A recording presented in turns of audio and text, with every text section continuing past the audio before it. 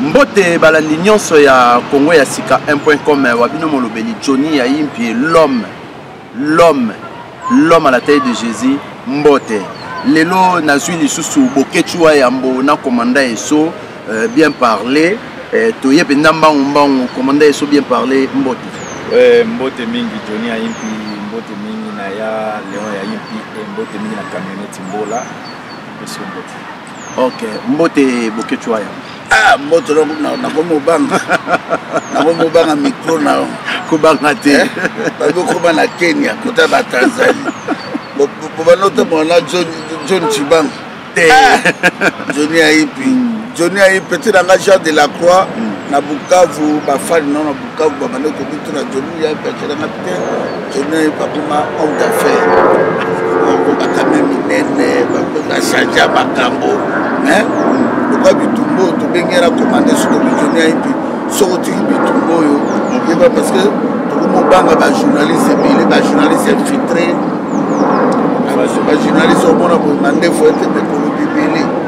te nga mona azongeli masolo ah, sokola eh. journaliste ya kolokolo il faut faire attention hmm. to yango wana tosepeli mingi joni ayebi lokumu nano ezonga epai ya je tout puissant ndeko na biso papa leki na biso leki na biso joni ayebi tosepeli azongi parce que joni ayebi bitumba eza nde ya ye tobandaki komitungisa mingi bitumbo eza na ya ye akwesaka tisekedi lipapa yango tobengi mpo tokwesa cilombo ifa kweya ko ifa pakata mpo tolobaki bakobomana cilombo na kanambe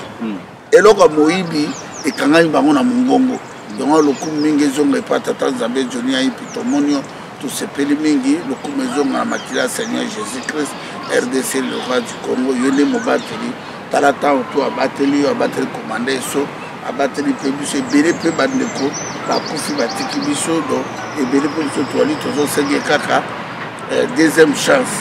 tose repentir mpo tokokokani bitumba na biso mbote mingi na papa kimbangu nde mvuluzi ye nde masolo mpo mvuluzi moto amonaki mpasi na mbokana na 1921 bakangi papa kimbangu tindi ye na katanga asalaka 30 ans na prison moni bacongolais balingaka kimbangu te mpo aza noir me mpo batia ye na bible te me biso bakoketi oyo yambo toreconnaitre kimbangu mpo avo reconnaitre moto mosusu il faut reconnaitre oyo ya yo oyo nzambe atindeli yo do papa kimbangu notre prophète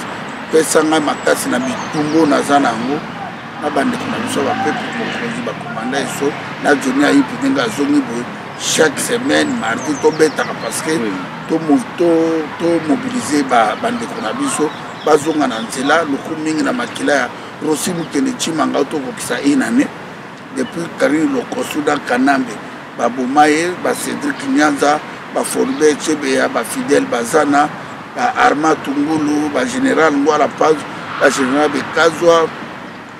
Alain Moloto, Mbunja Mabe, Pasteur Lukusa, bamakila bato bakufi na yumbi epai na biso na bandundu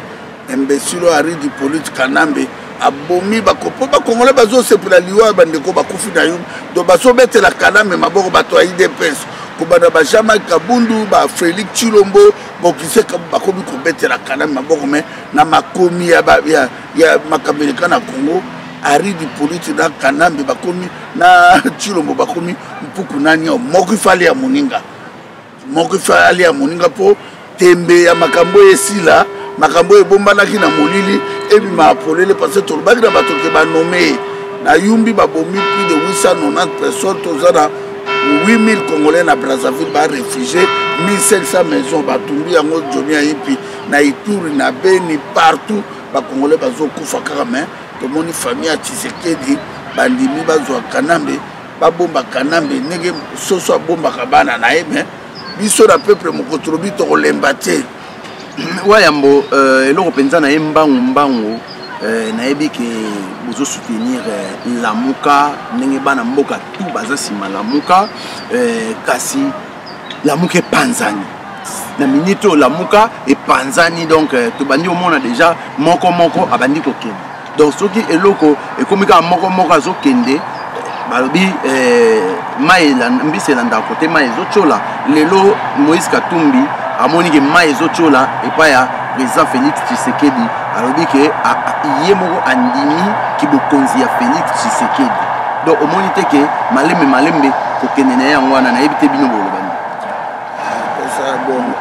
Non, là, je pense que bato il faut euh, c'est vrai eh, déclaration wana etouche etouche bato ebele yango moni ngai na wayambo tosali tu tobengisa yo mbangu mbangu mpo ya kointervenir parce que Euh, omoni eloko oyo déclaration oyo ensemble oyo eza na président moïse katumbi basali biso toza nango d'accord te toza nango d'accord te parce que na moment oyo peuple abandi kozela badéclaration wana te peuple aza kozela bato to bazala uni baavance mpona vérité des urnes mais parfois eh, tokoki kotala kaka katumbi te ngai nakoatisatake directement na directeur ya cabinet na ye kie pierre mungi parce que déclaration wana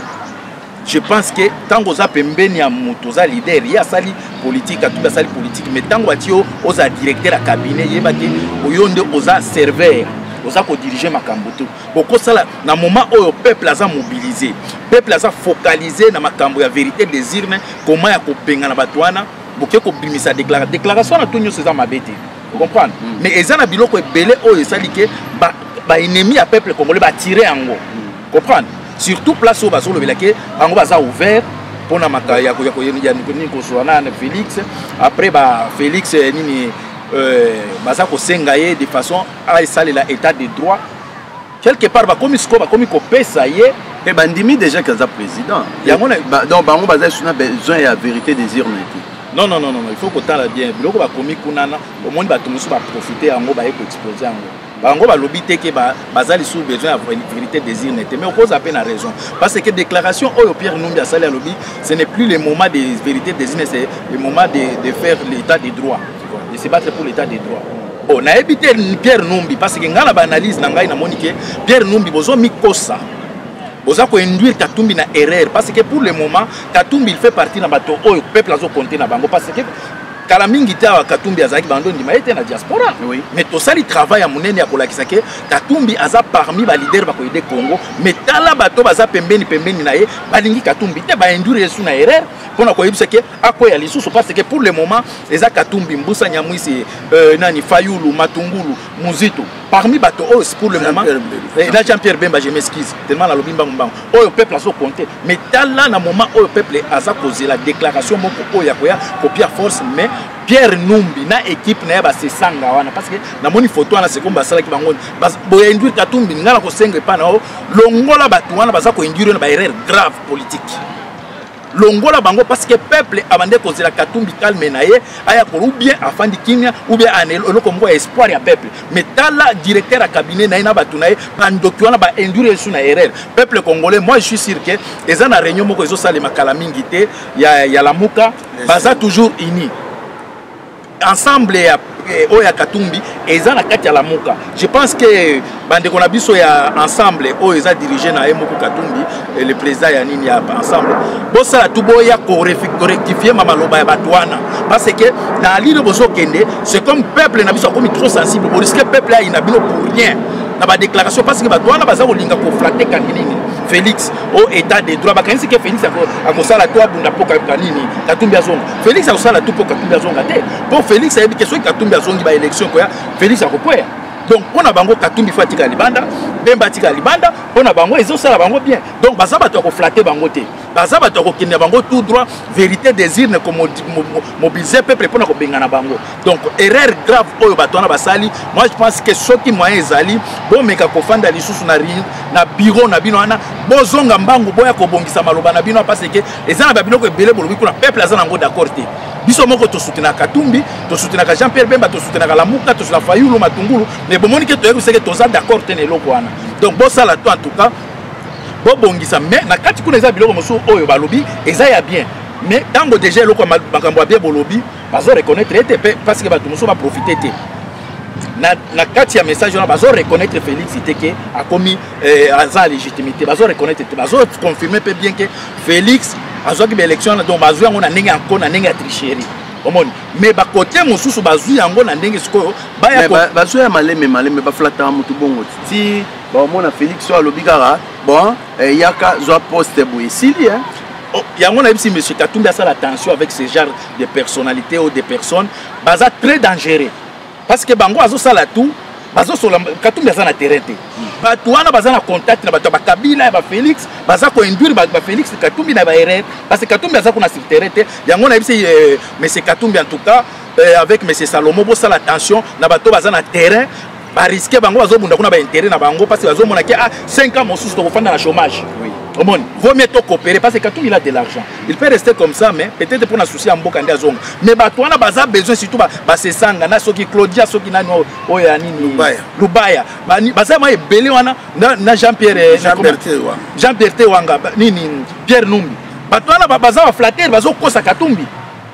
déclaration wana ezali je pense que na bureau mobimba basiégeaki babimi majoritaire basali mais déclaration wana toyebisi bino borectifie yango sinon tokofungulela yo pierre numbi ma masasi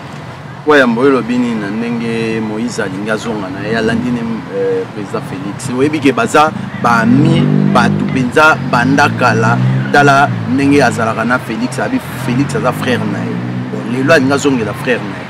Oh, Moïse Katumbi azalaki patron ya Felix ya famille Tshisekedi ye moto abandi ofinanse bamakambo ebele ya famille Tshisekedi bamatanga Tshisekedi baavion médical oyo Tshisekedi azalaki nango ase Moïse Katumbi moto afutaka morgue wana euh, funéraille wana place Tshisekedi ali c'est Moïse Katumbi ti lelo tina lelo oke mais président félix tshisekedi akomi président akomi na mbongo ebele akoki ozwa yango te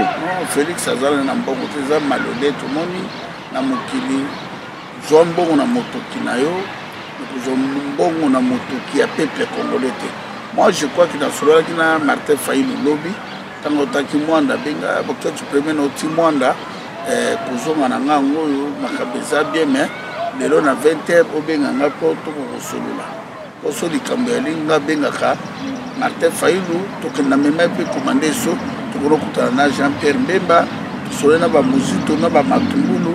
na salomo moto ya katuni tobengaka bango parce que tolinga koleka te te toleka kabo na media mpo tosepelisa bato idps omoni idps information mosusu ekoya nango ya boye mais bango bazala ta depuis bazwa pouvoir mais cible na bango ka boketsu wana nao bango bayaki bajournaliste bake na kongo bamosusu bazindi na mbula oyo ebetaki lobi eh. ti desert oui bato bele baboya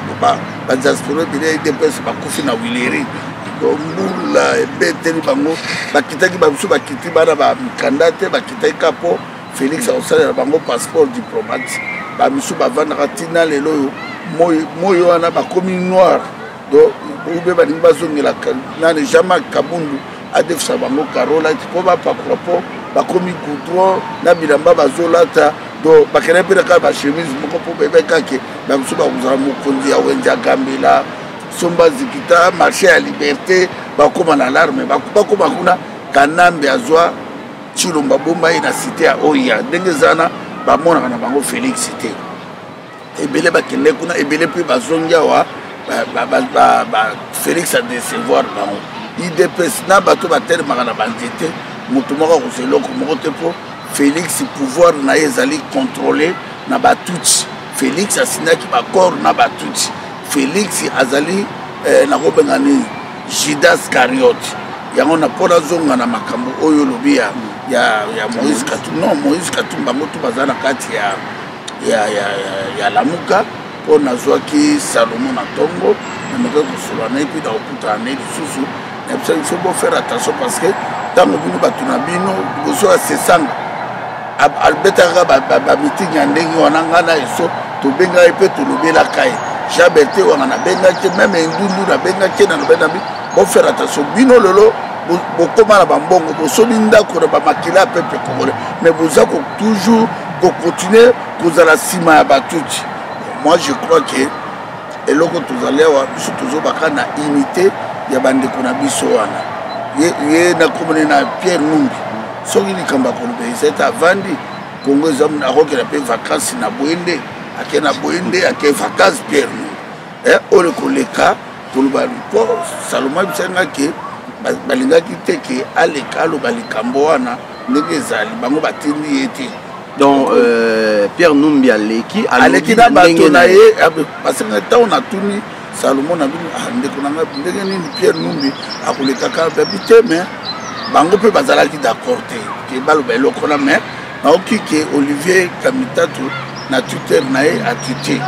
olivier kamitatu atutabi bango tu baza na kati alamuka bango tu moto moko alongwe aza te biso toyawa koasireka bato tolingi kaka kimia ke tobunda ndenge félix abotoli victoire ya peuple congolais tozalaka bomoko moto moko aza na intérêt epai batalamuka aza te mpo bango nde moto basalela constitution na bango wana soki ezalaki bango basalela constitution na bango te tokoya te ke diaspora partout dans le monde toya tosoutenir eh, bitumba wana moi je crois que bandeko babanga eloko moko te bandeko wana tu baza esika moko le 5 mars bazokutana awa na bruxelles réunion alamuka le 5 mars na bruxelles voilà réunion monene ekozala na, na bruxelles epuis na kobenga lelo eh, martin fayulu mpo nayeba c'est sûr que ce réunion wana eza le 5 epuis nakutana na salomon mpo nayeba ke soki réunion wana eza le 5 bakoka kota parce que towana besoin ya distraction te notre objectif yali bayibaki jean pierre mbemba na 2006 bayibi tshisekedi na 2011 bayibi failu oyo abimi na 62 62 pourcent epuis lelo oyo cardinal mosengo to confirme yango devant bamindele bato bazalaki wana abi félix azwaki soki 16 pourcent nani shadari 16 pourcent soki combien failu abimi na 62 pourcent tokotika yango te tokodefendre congo mpo biso toyaka na makambo ya baelektio te totalisaki bango ke baelektio bozokenda wana bakoyiba bino te oyo tosala yango kaka eh, mindele balobi tosala yango kaka tobi bakoyiba bino yango te me lelo oyo bango moko nde baza na bapesi biso raison me atoa na kati ya tokodenonse nyonso te moi je crois ke bango to baza ensemble esika moko baza imi bato batutana na bango te toza na kimia eloko ya makasi ezali ya kolibere congo moïse katumbi alobi nano te jean pierre mbemba alobi nano te mbusa nyamusa alobi nano te baza mibali baza mibali lokola bafélix ocomprendre biso mpe misato toza mibali lokola félix moto moko akobangisa moto na makambo ya kongo wana aza te moto afutelaka moto kongolai moko ndako na poto moto moko mpe asisa mpasi ya peuple kongolai aza te eloko tozodenonse parce que famille ya tisekedi Acte basali ya Kanambe bina akendeki na ye. Kanambe ase akei mais Felix andimi ali ya mbongo ba manipuler ye na Vital Kamerhe l'homme le plus dangereux ya au Congo. Donc aza médiateur moko nakoloba ni kameleon wana mena tobengaki kameleon ya solo mais lelo soki tozomona bato mosusu tozointerpele vital kamere so natuni role ya vital kamere na kongo nayebaka role ya vital kamere te nayaka toujours kaka yango natunaki bandeko na ngai bamoise katumbi ba jean pierre mbimu eloko nini kobengaka vital camere akosala nini mais balobi ke opposant nga bime opposant ya motu ronde opposant moko ya mafia c'est ça hmm. de bandeko tu ya lamuka baza esika moko bato oyo batutanaki batutana te bayebake toza ensemble tokoluka biso na komanda eso toza wana mpo na kotia bango pression tokende kuna mpo na moto abangisa moto aza te mpo moto moko bakunda ye na baavion na bandako aza te tosololaka etake bafrere bacongolais ke tobunda bitumba oyo tolonga yango baza bango nyonso esika moko merci euh, boketshu wa yambo mais euh, bolobi euh, président félix chen euh, président félix euh, chilombo euh,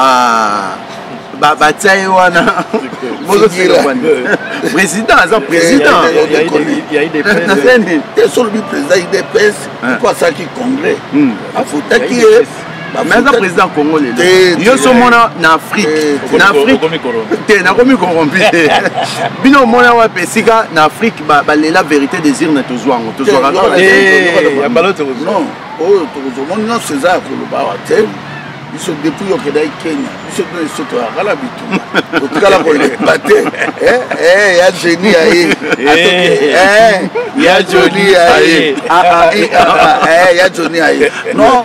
bato bazala panike te eza bitumba biso toyebaki na esoke ekozala ndenge toyaki deja prépare tobandaki koprépare peuple mais ba peuple bazalaki toujours kovivre na ba émotion soki balandaki biso il fallait bazala préparé mpo toyebaki ke eh, dauphin ya kanambe eza shadari te dauphin ya kanambe ezalaki félix silo mais félix eh, tshisekedi awiti voyage na mboko nini na namibie awuti koloba que ye akozala eh, président ya azo koregne kaka te sans diriger donc ye akodirige donc na maloba wana alobi déjà ezolakisa ke eh, président félix atelemeli déjà eh, kabila bino bomoni ndenge nini bomoni te ke aza mpe zoba te aza mwana moke te oyo akotika badrible aza mobali ti Eh, je pense que bato oyo balandaki ngai baémission epa collègue na yo eh, le sage fm nalobelaki yango nalobaki tozokende na mbutu mbutu moko oyo eh, mbo aswi mbwako hmm, toza déjà parce que omoni arrivé ya envoyé spécial ya baaméricain bauti koyebisa mpena félix plaire ke oza déjà mokonzi hmm. hmm. il faut osalela baattribution tout ya, ya chef de l'état ça veut dire même soki olandi na déclaration oyo ya banini ya ensemble wana yango nayebisi makambo to balobi eza mabe te hmm. quelque part baza kopousse ye mais yo ndenge nini oza na plan ozosalela yango te omoni bayebi ke ayibi mais mais ayibi eza mwana mboka moto ayibi te biso kuna yamaka mwana mboka te aza moyibi kakakosuteni moyibi moyibi ayibi kakaapres oyebi eloko esalema avant nazonga na ide na ngai hmm. omoni bato soki bayibi hmm. soki toke na tobaki baplat toyibi tokimi tozalaka bacamarade era okabwana nde bato aswana voilà yango na moment oyo place bazali pour le moment en fait président nini envoyé spécial ya états-unis wana ntango akomi kuna ayebisi félix non ndenge eza boye ngai nayebi te yo nayambaki yo na états-unis mato moto amema ye kuna na atlantico soki nini wana ezali katumbi na fayulu nde bamema ye mpo bakutanisa na envoyé spécial wana mais ndenge nini yo oza président katumbi mutu na yo azozonga te fo olakisa ke oza président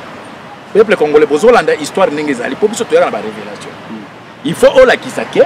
oza président baprisonnier baa na kati babima sikoyo félix pour le moment aza na mama na, na équation moko ke il faut sikoyo il faut sikoyo alakisa baaméricain ke ye ba accord wana il faut alakisaki aza président siko mpona kolakisaki oza président il faut aboma baaccord ya ye ah. na kabila yango omoni ke na, na, na windok place auti na namibie auti koloba ke akondima jamais azala président oyo aza korenye mai aodirige te auti koloba yango après alobi akotika jamais kotikela ministère d'affaires étrangères ya nini ya justice akotika yango te défi déjà liboso yango wana mpo biso toyebaki ke félix félix akorenye na ye mai akodirige te kasi kanambe moto akobanda odirige mais atie déjà libaya parce que baaméricain bauti koyebisa ye ke il faut olakisaki oza président yango nayebisaki balebisaki bato nalobi félix voisin na ye eza liwa ye bomo soki anila kati baaccord na kanambe antuka akozwa ta ya kiti oyokaka nini areka cardiaque omoni eloko ya moyibi esukaka na kokufa félix aza na liwa wayambo yo olobi ninimpona koyebisa bino ke peuple congolais situation tokokende nango pour le moment eloko moko échange eza te lelo nauti komona baactiviste na congo bamarché euh, euh, babanderole na bango bakomaki ke comme bato ya idps bazoloba tout le temps ke bokomesana hmm. bango mpe bamarché balobi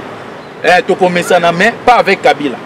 marche na bango ezalaki wana hmm. tokomesana mais pas na kabila il faut mona nde babeti bato wana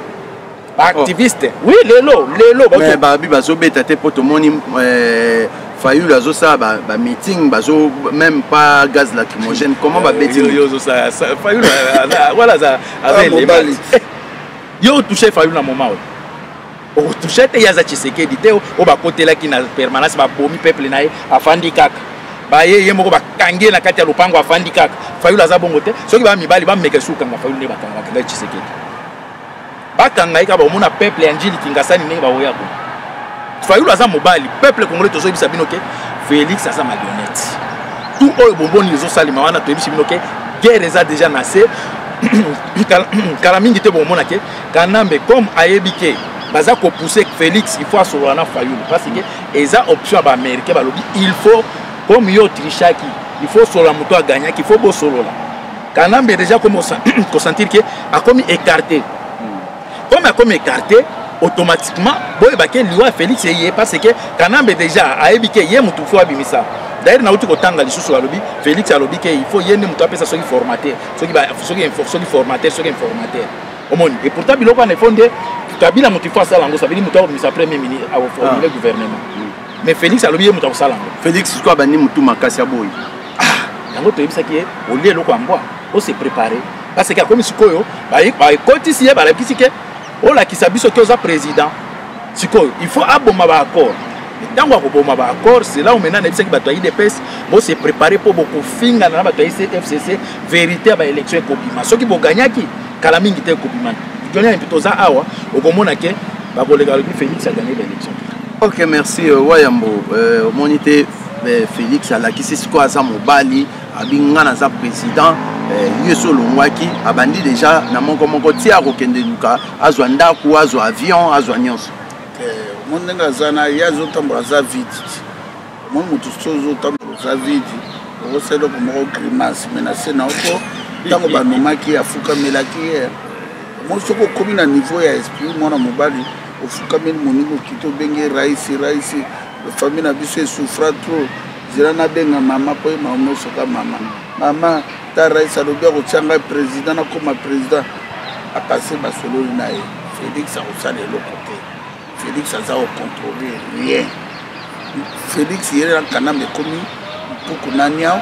leopard na antilope kanambe ndenge aza wana ayebi ke cpe ezozela ye kanambe cpe ezozela ye mpo na ndimi humiliation te ye na felix bakoperde bakoperde kanama komima va kufa fa kufa na felix okomprendre bitumbu yali mpo eza pouvoir ya felix te eza pouvoir ya, ya martin fayu ali tozokela ti tokoma mois de mars topusana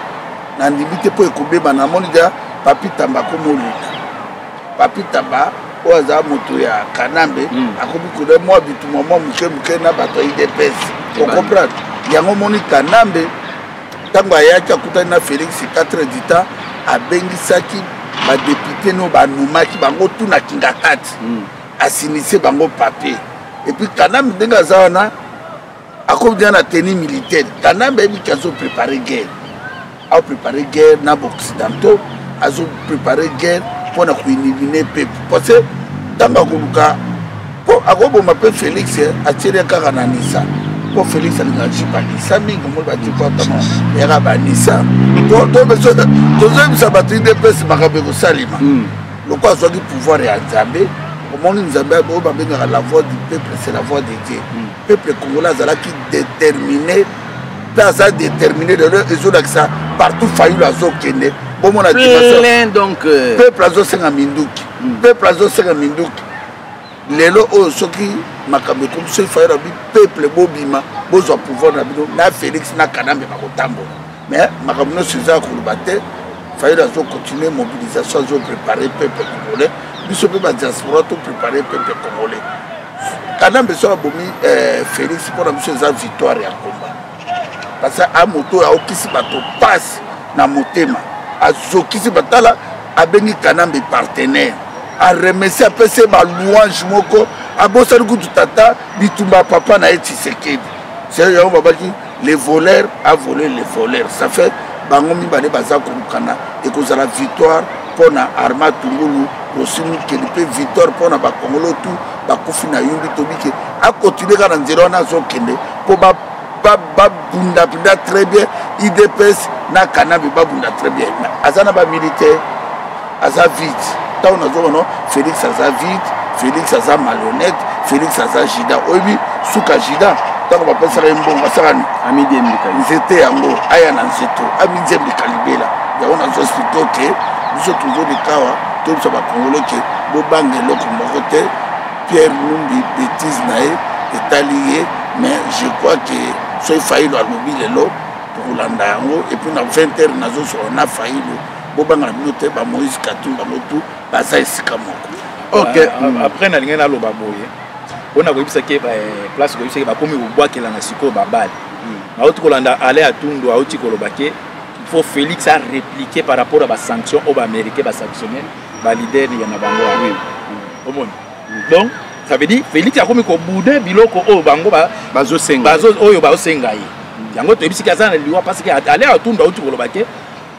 Felix faut répliquer et eh, yo répliquer des fois États-Unis. Hein? Hein? Pas de Felix a répliqué. Aïe, ça va américain que nga naza d'accord te na bato bosanctionne félix oyo kaka mama madi ah, epuis eloko mosusu eza bo hmm. omoni omoni bafélix yango na obaki na moto na mokili so oza na so oza na intelligence te ifo ozala na sagesse so oza na sagesse te ifo ozala na intelligence Felix Tshilombo na intelligence na sagesse aza na yango te estce ntango abanda omoi makambo so ali soko oluka asala ku na ye exemple kolinga opesa position te ntango hmm. ye azopesa baposition na bacongolais balobaka ebele me barwandais balobaka ebele tala bacongolais secret ezalaka te mais barwandais omona omoni te kanambe ayaki epana ye hmm. et puis mercedes oyo bando ntango yango wana mercedes ya mobutu ezalaka na sosimat kanamba ye ah. eh, oui oui wana babatar tout ya mobutu batiaki yango na sosimat wana mercedes ya mobutu oyo bando ntango yango yango na bi kanamba asalaki teni militaire a préparer déjà guerre à éliminer Félix donc beaucoup ma date ya lelo tu to to kota na ba mars ba ko beba na pona biso ezali victoire makasi et puis na remercier diaspora congolais ba diaspora tout merci na combo bosalaki ya oyo écarte et eza Félix te ezali combat ya diaspora moto ekartaki kanambe wana eza bitumba ya église catholique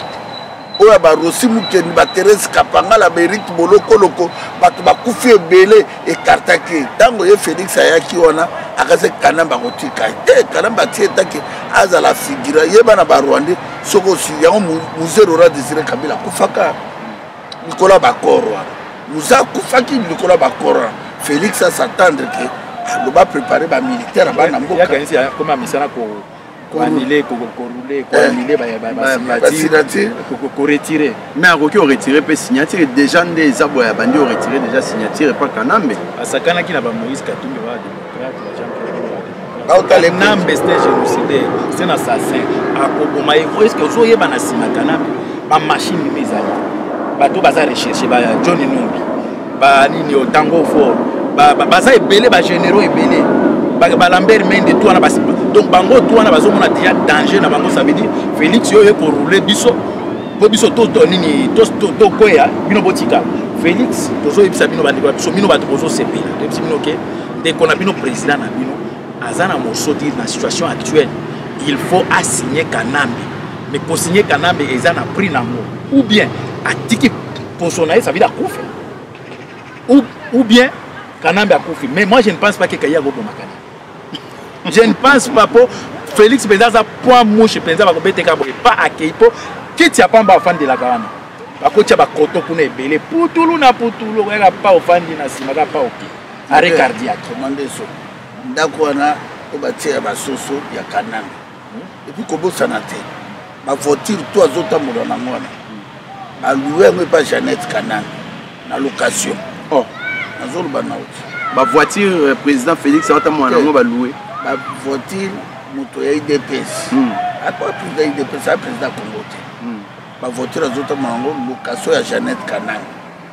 ba vieux wana omoni ba vieux wana hmm. eza ya mundele moko kada mpe biso ya libanais kada mpe biso ngai naza na vieux te ngai mpe naluwaka yo tambolaka na tete wana donc ndenge aza na akutani na moso farafa biso toleli yango grave bazasura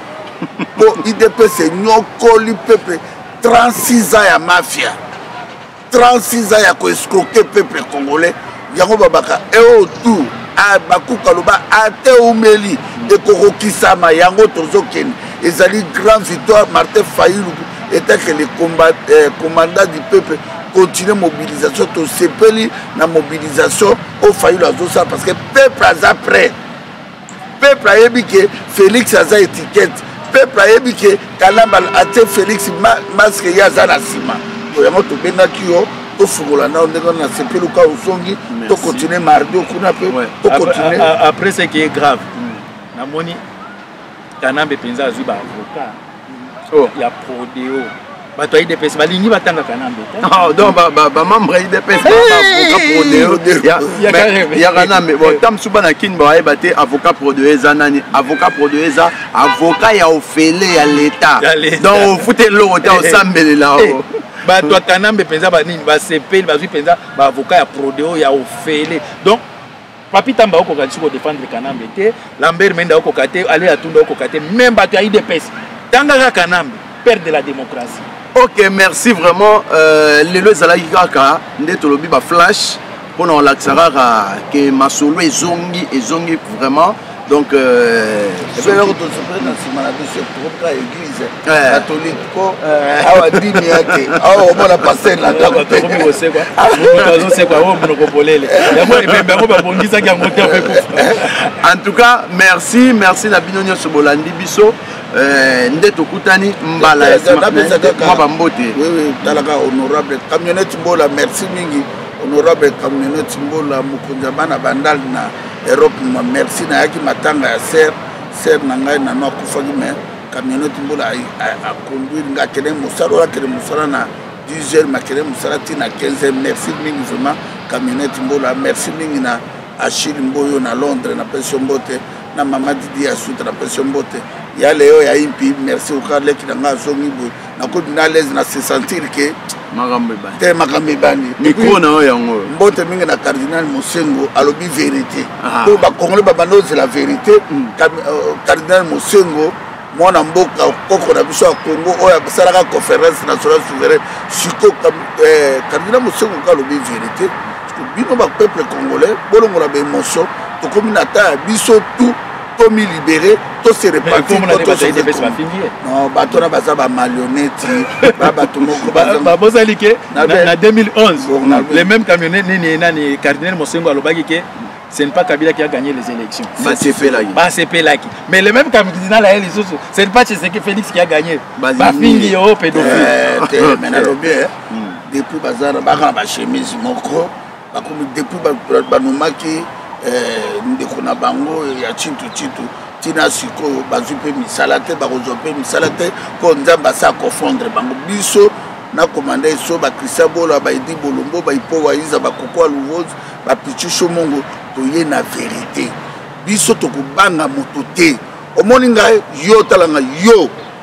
na ye na ye kutu boza ba esclave moto ka ngai bokomona ngai te nafukameli moto na mokili ngai kaka dieu tout puissant le créateur de se la terre kongo wana ezali ya papa kimbangu soki kimbangu azalaka profete ya mboka wana soki rosi mokende ale moloto florbe etebeya bazana soki bamakila to ayumbi ekufi na mboka na bino moto bozoluka ngai bolia na bakamere botonda na bakamere mais boyeba yango ke seigneur jésus christ alobaki celui qui tue par le pe perira par pe bokosambwa bokoya nzela moko bokopandela nzela nsambo merci mingi joni ayipi merci komanda yeso mwa bambote message ezaka bambote mingi kaka camionnete mbola mpo ye kutu malamu de contrôle donc ye eza jamais tokozanga ye après ndeko na biso eh, bazokunda ndeko na biso tati je pense que eza samedi le premier mm. mars en tout cas bandeko ebele boya ndeko na biso asili kotika biso oyo nyonso ayebaki tati aya poto akompaye ah, ndeko na biso na kimia donc euh, problème eza mpe bato ya idps nalingi président ya idps hmm. en tout cas tolingi tomona matanga donc euh, tosengi bato ya idps président na bango hmm. oyo yo ozobenga président ah président félix tshisekediaseke bino boboyi ye ya mboka boye ya idps président ya idps tolingi na matanga tati tosentir loboko ya mbongo ya moyibi oyo azoyiba ya congo parce que tati azalaki tout le temps garde na nsima na ye mm. comprendre tolingi tomona na matanga wana ke loboko ya mbongo bazozwa ya makila fo tomona yango na matanga ya tati esi tobakisi boye na nsima na tomoni tokundaki jina bolebe leoso mes condoléances la bomba famille bolebe mobimba en tout cas bandeko to ya liège boyaki wana babezi oyemba barita boyaki wana leki na biso akufa jina bolebe mawa to oh, euh, toza mpe esu na likambo mes condoléances euh, na euh, nani Eh, ve na biso bezo bezo mama na ye auti kokufa wawa mais condoléance bezo bezo yema tokozala wana epa na yo toperdre mpe leki na ngai mwasi julie lumbe ah, julie lumbe eh. akufaki na anvers neli bombei juste ntango akufi ngai nazali na baopération bamaladi kilikili badi madiata bakufaki hmm. bagilen kita vraiment bato bakufi ebele vraiment peuple congolais c'est le moment ya bolingo ya congo biso toyaka mpona koloba verité toyaka mpona intérêt ya motu te olandaka biso epai ya joni ayipi ndenge azongi boye chaque mardi mercredi tozopupola tozonga nsima te toza mpe na bmv eh, ezalaka merci merci na bino nyonso bolandaki biso donc masolo ezongi abonnez-vous massivement donc euh, boclike cloche moko ezalaka wana mpo bozangaka basango ya mboka te merci nde tokutani mbala ya nsima wa bino molobeli trois fois l'homme à la tête de jésus eh, ya joni aye ah, ah, eh, ah, eh, joni ya hip aye c'est bon ok merci leader azongi ouais.